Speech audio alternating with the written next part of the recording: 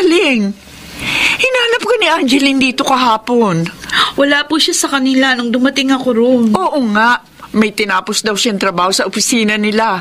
At nang matapos yon, naalala ka niya. Kaya dumalaw siya rito. Eh wala ka naman. Saan ka ba nagpunta?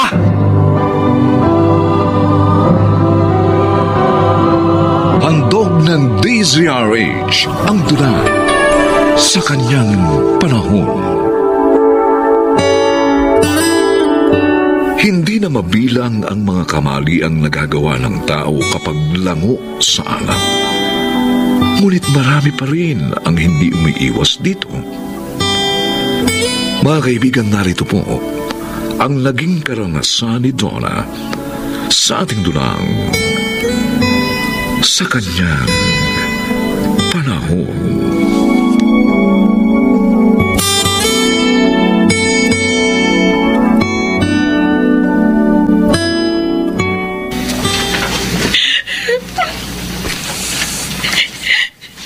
Donna? Oh, bakit? Ba't ka umiiyak? Oo nga. Mula nang dumating ka kanina galing sa pamamasyal yun ng nobyo mo, ganyan ka na. At si Reden, hindi man lamang siya tumuloy nang ihatid ka. Nag-away ba kayo, anak? Hindi mabuti ang ganyan doon. Lalo na at malapit na kayong ikasal. Itay, Oh, inay. Wala na pong magaganap na kasalan. Ha? Ano? Hindi na matutuloy ang kasal niyo? bakit? Naipamigay na natin lahat ng imbitasyon. Bakit ba? Ano bang dahilan? Anak, sabihin mo sa amin. Kasi natuklasan ko. Dalawa pala kaming nobyo ni Reden. At ang masakit pa, nabuntis niya yung isa. Ah, Kaya pala ilang araw siyang hindi nakapunta rito. Dahil Dahil, ano, Donna? pinakasalan niya yun. Pinilit daw siya ng mga magulang ng babae na pakasalan na yung anak nilang buntis. Oh, Diyos ko! ang walang yung lalaking yun. Ipinahiya tayo. Napakasakit po, itay. Ang sakit-sakit!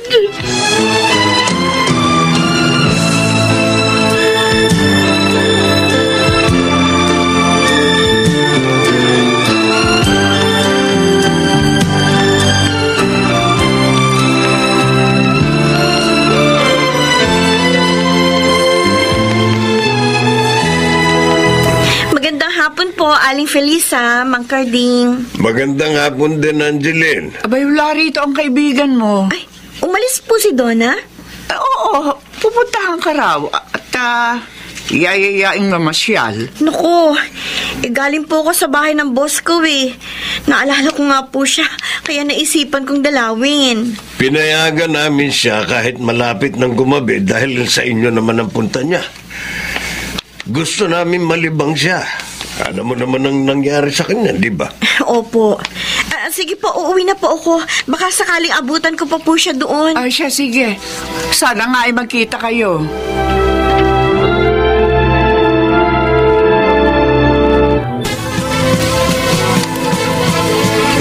Hey, miss. Mag-isa ka yatang umiinom. Wala akong kasama. eh. Kaya di mag-isa. Ang ibig kong sabihin, bakit? Wala nga akong makasama. Ah, eh, okay lang ba? Dito na ako umupo sa table mo? Anyway, wala rin naman akong kasama. Hindi na tuloy yung kausap ko. Tsaka, delikado sa babaeng katulad mo na uminom dito ng walang kasama. Bahala ka. Hindi naman sa akin doon. Mas maganda ka pala kapag gumingiti ka. Kayo talagang mga lalaki. Ang tamis niyo magbola. Kami naman mga tangang babae. Nagpapabola. Uy, hindi ako bulero. Tsaka wag mong tawaging tanga ang sarili mo. Hindi bagay sa'yo. Ano? Talaga lang ah. Oo. Totoo ang sinasabi ko, Donna. Talagang hindi bagay sa'yo ang maging tanga. Dahil maganda ka. Mukha kang matalino. Hindi ba sabi mo, gusto mo ako samahan? O di uminom ka na rin? Okay. Mabuti nga para masabi mo sa akin ang problema mo. Nararamdaman ko, may problema ka. Tama ba ako? Uy, magaling ka rin palang manghula. magaling ka rin kayang magpalimot ng problema? Oh, Donna, bakit ngayon ka lang? Magdamag kang hindi umuwi ah. Nag-alala kami ng tatay mo. Pasensya na mo, Nay. Abay, saan ka ba galing? Hinanap ka ni Angeline dito kahapon. Wala naman siya sa kanila nung dumating ako. Eh, oo nga. May tinapos daw siyang trabaho sa opisina nila. At nang matapos yun, naalala ka niya. Kaya dumalaw siya rito. Eh, wala ka naman. Saan ka ba nagpunta, ha? Ah, dun, dun sa ay, isa ko rin pong kaibigan. Napasarap kasi yung kwentuhan namin eh, gabi na. Doon na ako pinatulog. Sana naman sa susunod, anak, mag-text ka o kaya tumawag. Nang hindi naman kami mag-alala na sobra.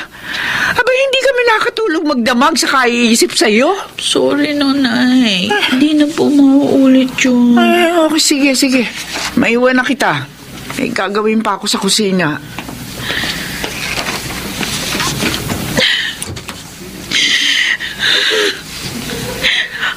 Ang laki mong tanga, Donna.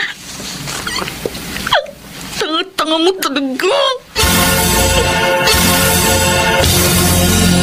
Best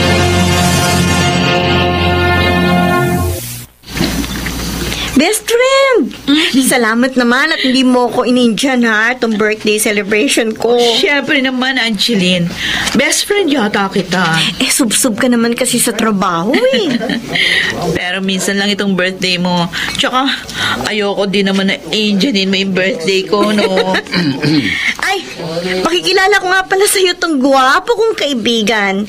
Donna, si Oliver. Oliver, si Donna. Best friend ko. Ah, masaya akong makilala ka doon, ha? Same here, Oliver. Mabuti na lang. Inimbitahan mo ako ngayong birthday mo, Angeline. Isang napakagandang babaeng nakilala ko. Bolero ka pala. Hindi, nagsasabi ko ng totoo, Donna. Talagang hindi marunong mambola yan, Donna. Best friend siya ni Kuya, kaya alam ko. Wala pang ang girlfriend yan.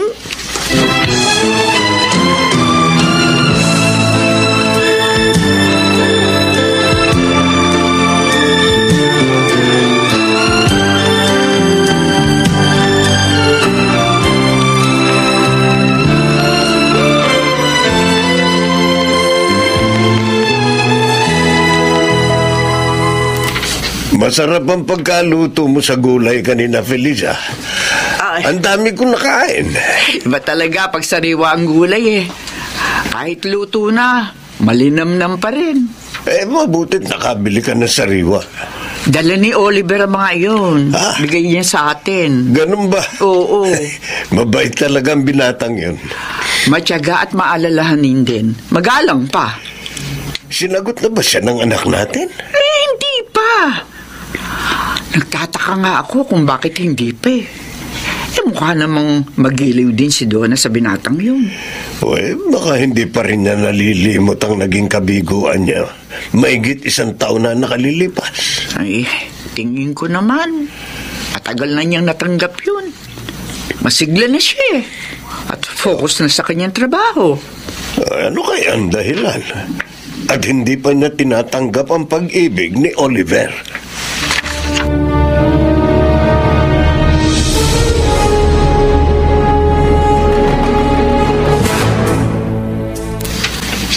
Anak, may problema ka ba? Oo. Wala. Ano naman po magiging problema ko? Eh, kasi malalim na ang gabi pero gising ka pa. Nanonood po ako ng TV. Donna, kanina pa nag-sign off ang channel na pinanonood mo. Hmm, tingnan mo. Ay, oo nga no. Hindi ko napansin ay. Kasi nga may problema ka. Ano ba yun, anak? Tungkol ba kay Oliver? Opo. Huhulaan ko. Mahal mo pa rin siya. Pero atubili kang tanggapin siya. Tama po kayo. Hmm, bakit? Anong pumipigil sa'yo? Natatakot kasi ako na eh. Dahil sa isang pagkakamaling nagawa ko. Mahigit isang taon ng nakaraan. Ano yun? Anak, sabihin mo. Anong pagkakamali yun? Eh, Nay, Sabihin mo sa akin. Pang sa ganon, mapayuhang kita. Makakatulong din ang pagtatapat mo upang gumaan ang kalooban mo. Pero Nay, sana kapag sinabi ko, huwag kayong magalit sa akin.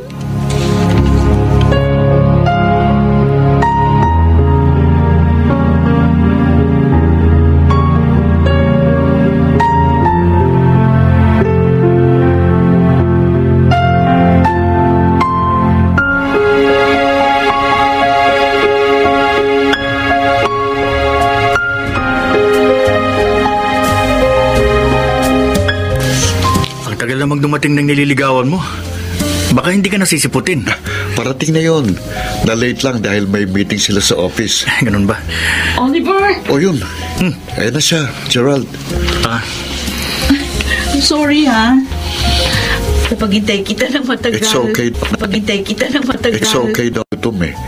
Um, kasama ko nga pala itong kaibigan ko, si Gerald. Gerald, ang pinakamagandang babae sa buhay ko, si Donna. Donna? Ikaw? Oh, magkakilala kayo? Uh, oo, Oliver. Nakilala ko na siya noon. Oh, Donna!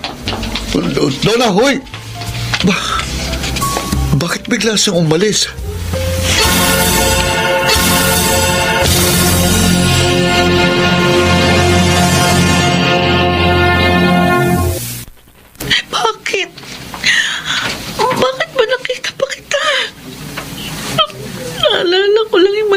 Yung malaking kahihiyan na gawa ko.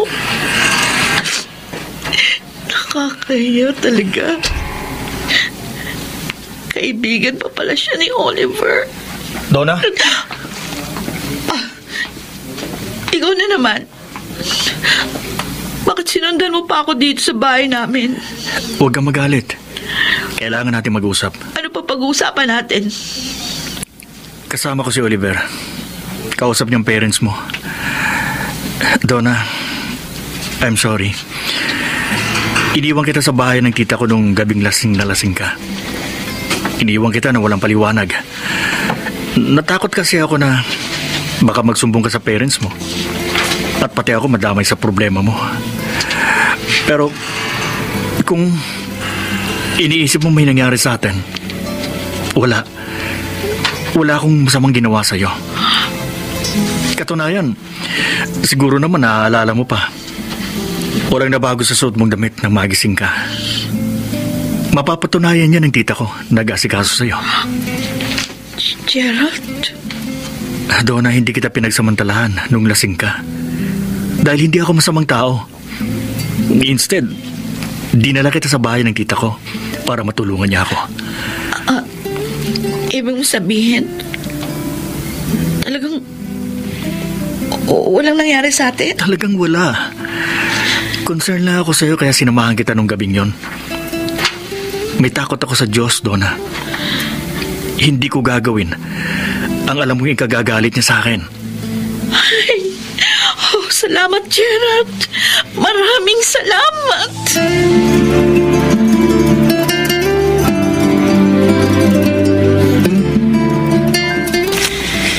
Anak, nakahain na. Nagluto ako ng paborito mong ulam. Sabayan mo na kami maghapunan ng nanay mo.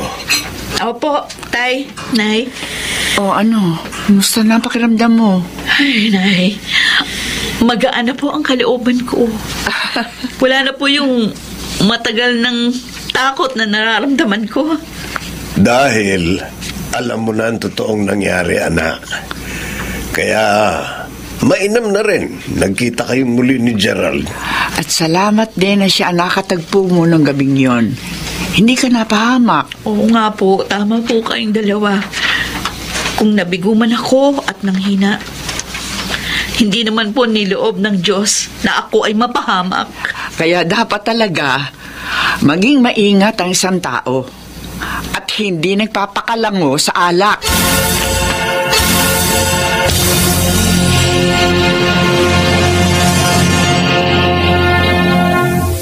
Sa ating mga kahinaan, nariyan siya upang tayo'y alalayan.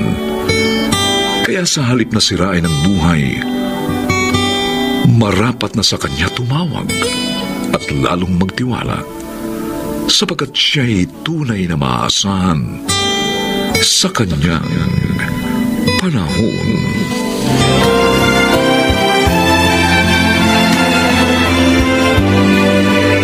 Mga nagsiganap, Rosana Villegas, Susan Robles, Lionel Benjamin, Chiquit del Carmen Amor, Phil Cruz, at Maynard Landicho Jr.